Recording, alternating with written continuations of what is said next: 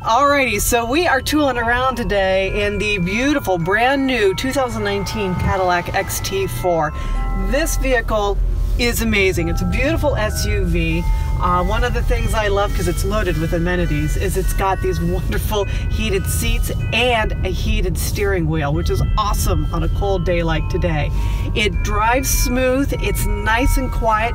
You get great gas mileage. You get like 30 miles to the gallon on the highway, and it's got a lot of great safety amenities too, like forward braking, which when you are carrying precious cargo, like, oh, I don't know, say some ballerinas for the Nutcracker Suite Sangamon Auditorium, you want to make sure you get that cargo in one piece and in style because I'll tell you what, ladies, we are all about the style.